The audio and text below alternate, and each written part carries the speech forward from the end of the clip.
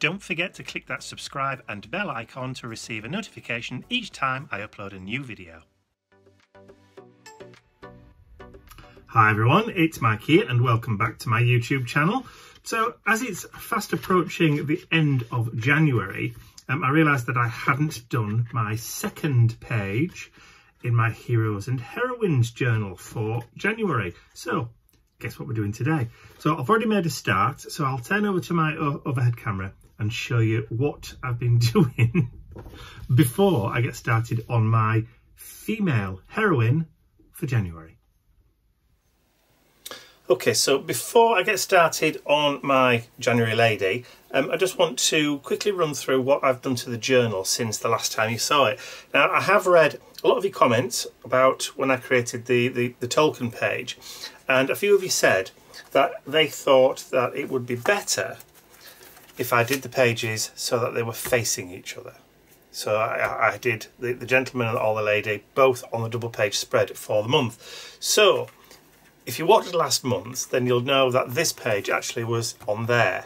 So what I've done is I've taken it off, I've added another sheet into the front, kind of like a title page, if you like, an index page, and then I've replaced um, the Tolkien page on the inner left hand side. But I've also added a label that gives the name, date of birth and the date of death if applicable. So that's what I've added onto that one. So I will be doing my January female on the facing page. So that's what I've done. So before I get started, I want to get started. Um, I've added a piece of scrap Tim Holtz paper, but I also wanted just to add this heroine, uh, heroes and heroines kind of index on the front. I've made sure there's enough lines for me to do the entire year uh, and we'll handwrite them all on. So all I want to just quickly do is just glue that in now. I've just gone around the edges with some um, vintage photo distressing. So I'll just squeeze out a little bit of glue. So journal maintenance before we get started on the actual page.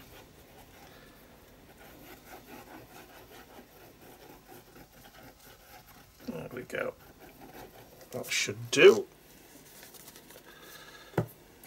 and then I can flip that over and just add that. I've left a nice little border all the way around.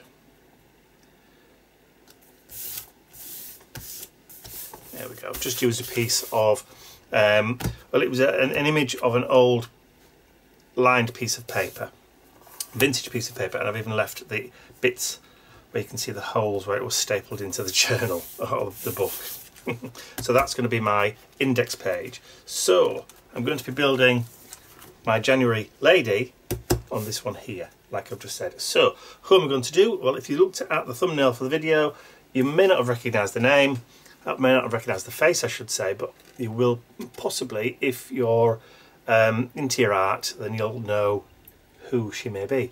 Um, so this is Dame Barbara Hepworth, um, a local girl born in Wakefield, which is only a few miles away, on the 10th of January 1903 and sadly passed away on the 20th of May 1975, um, which made me seven when she passed away. But that's going to be my female heroine for January. So, why Barbara Hepworth, you want to know? Well, Barbara Hepworth was a modernist artist. Uh, she studied at the Leeds School of Art in the early part of the 1920s, along with people like Henry Moore, the famous sculptor. In her own right, Barbara Hepworth was a, um, a sculptor as well as a painter. And to form part of the page, I'm going to be using some reproductions of some of her paintings. So this was one of her paintings. And this abstract piece is called Genesis. So that's going to form the basis of the background. Um, and it was painted in 1969. I, have written it on the back, just so I remember. Um, so yes, that was painted in 1969. Um, I was a year old in 1969. So that's going to form the basis of the base. What I was going to do, or what I normally do, is I build the cluster up first and then stick them directly down. I'm not going to do that this time. So I'm just going to go around. I've got some uh, distressing in front of me. That one doesn't feel like it's very juicy. So that might be on its way out. So let's grab a second one. Oh, that one's better. Newer version. So this isn't the entire piece. I've obviously had to just crop it down a little bit to fit. Um, and these are images which um, I've taken from our web, uh, websites, various, various different places. Um, and these are some of the pieces of art from Barbara that I absolutely love and would definitely, definitely have these on my wall um, if I could possibly afford them. So that's going to be the base. Let's grab some glue. So this is the Spirit Glue, Collall Spirit Glue. Um, people ask me why Spirit Glue because with it being made from alcohol spirit rather than water, it doesn't make your pages buckle. It's a wrinkle-free glue, um, but it's not cheap. as far as glues are concerned, it, yeah, it's not it's not expensive, but it's not the cheapest either. Um, but also it gives me wiggle room. So because these sheets in this book kind of move, having a bit of wiggle room is going to be nice. Just to be able to get it centered. I mean, that's just nice on its own, isn't it? I could just stick that in the corner and say, ha, page done. But no, not going to do that. Okay, so the second piece of artwork I'm going to add over the top to build up my cluster is this one. Again, abstract art from Barbara. So this one is called Perigord and was painted in 1958. I know it's very simple, very simplistic. There's just patches of colour and we've got these kind of um, let's say, organic shapes that she became famous for later on. Um, she was a very kind of like organic artist where the forms and shapes that she created in various different mediums were very organic. And if you've seen some of her sculptures, um, they're kind of what I class as quite feminine. Um, they're ovoid or like egg shaped or um, kidney shaped, so very kind of sensuous kind of forms and shapes um, with holes in the middle. So that might, you might suddenly go, oh, I think I know who you mean now. Um, and obviously pieces of her art are all over the world. So, but you don't often think of Barbara Hepworth and think of her actual paintings. But this is one of them. So I love this. Um, just because of its simplicity and the fact that it's got these shapes and forms. Um, and if you follow this, it kind of is a it just kind of kind of goes and like kind of loops but anyway I likes it. And seeing as we're doing my heroes and my heroines. It's absolutely perfect to go on the page for Barbara. So we're kind of spoilt around where we live because we've also got I've just mentioned Henry Moore um, only a few miles away um, just as you go to Wakefield actually. Um, there's the Yorkshire Sculpture Park, and in there there are um, quite a few Henry Moore pieces. So Henry Moore um, also did quite a few very famous large sculptures. Um, there's some huge lions on the front of the town hall steps in Leeds, which he did. Okay, so we've got that there, so that's going to go on that one. So the third piece of art that I'm going to include from Barbara is this one. Now this had to go in. Um, this one is called Two Figures. So if you look, you can just see kind of like eyes at the top. Again, very, very abstract. But the subtitle for this one, or the subtext for this painting, is Heroes. So it had to go. It had to go in. Again, what I love about this one is obviously it's the shapes. You've got those overlapping kind of squares. See, it does all kind of fit together. Um, but they do form kind of abstract figures. But again, I love the colour combination. I love those kind of rusty oranges, the burnt oranges, with that Mediterranean kind of blue colour, which is just sublime.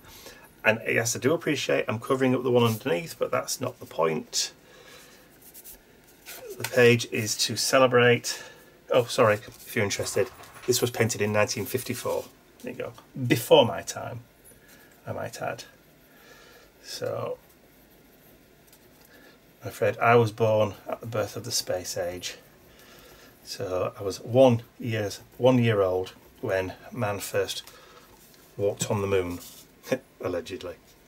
I'm not a conspiracy theorist. I do believe that it did happen, but I just thought to throw that out there. Right. Okay. So let's add this one onto there. Okay. I'm liking that. Okay, so the next piece that I want to add, I'm going to add it in at the same time that I add the photograph of Barbara. So I'm going to bring that photograph of Barbara in to create that kind of cluster here. And again, I'm going to be coming down the page, so it's going to mirror this one over here. Well, not mirror, because it's not going that way, but it's going to be the same kind of diagonal slant, even though I've started up here with the main piece. This is also one of her sculptures. Again, all those overlapping shapes. So Square Forms, 1962, again, before my time. Hello. Hello. A little bit of information. About She was- Barbara? yeah, she was also married to the sculptor Ben Nicholson and the artist Ben Nicholson. Oh, right, okay. And they were in the they were in the Second World War. They were a part of a group of colony in St Ives, That's right. the modernists. Yes, the modernist. Modernism. And I also went to the same art college as she did. Did you? I did. Leeds College of Art? Yes, Well, I did the foundation course well, there. she was there in 1920 to 1921. A little bit later, actually, for me. Bit before your time, I think. Only a fraction. Fantastic. Well, there you go. A bit of extra information thrown in by Mr. Ian, who went to the same art college. See, I never knew that. I never knew that, or I never put two and two together. I knew he went to an art college in Leeds, but I didn't know it was that one, the same one. So you actually studied in the same place as Henry Moore as well, then? Oh, he's gone. He's disappeared. He's gone off. Right, so I'm going to put that one down there, but I'm not going to push it down just yet. I'm going to just quickly go around the edge of the photograph. And if you're wondering about the size of the photographs, these are ATC sized. So they're two and a half inches by three and a half inches. And this is going to be the standard size that I'm going to be using in this journal throughout the year. Um, if you want that in new money, then it's 63 millimeters by 89 millimeters. I know. why they couldn't have just done 65 by, sorry, yeah, 65 by 90. I have no idea, but hey ho. But it's because it's in inches. Old money. Okay, so Barbara. So we've got the glue on there. So we're going to overlap that and then overlap that. Just like so. So she comes right into the, almost into the middle of the page but we've got that sweep down there.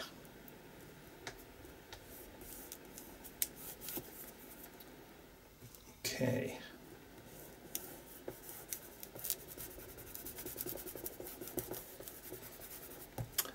Perfect. So we've got a piece of, or we've got a couple of, or three pieces of abstracts painted out, which is what I'm more drawn to.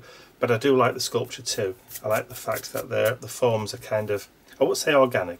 I like the way these overlap and it kind of mirrors the, the forms that we've done on the page with the overlapping squares. So, did I say what that was called? I think I did. I think I did. Can't remember. Oh dear, too much coffee or not enough. Okay, so, and like I added on with the Tolkien one, that um, name and statistics of births and deaths. I'm going to do the same thing with Barbara, just as a finishing touch. Bab Dame Barbara Hepworth, DBE, Dame of the British Empire, of course. So date of birth, 10th of January 1903, and I've put the date, obviously, in the British form, which is day first followed by month, and then the year, just to be confusing to everybody. Uh, and then date of death, obviously, 20th of May 1975 and I'm just going to put glue stick on the back of that one.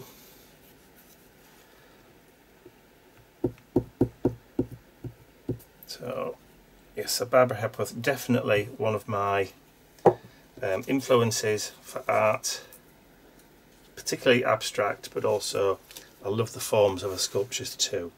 So I'm going to put that down here. So overlapping just that corner there.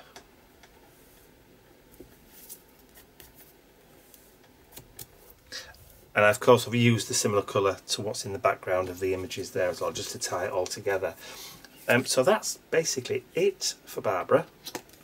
So all I want to do now is just to sign and date this one. So today's date is what he says it's the 29th so we'll just got in there quickly.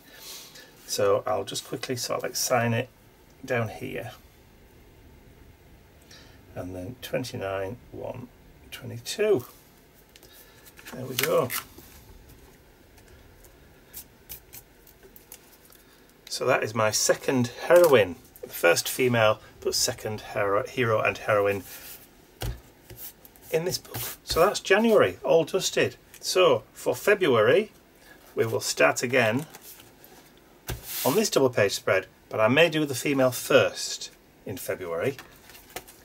We shall see. So I hope you've enjoyed watching me put that collage um, cluster together for today. If you have, please remember to give the video a thumbs up, share it with your friends, and if you haven't subscribed to my YouTube channel already, you can do so by clicking the button at the end of the video. That's all from me for now. I will see you all again very, very soon. Bye for now.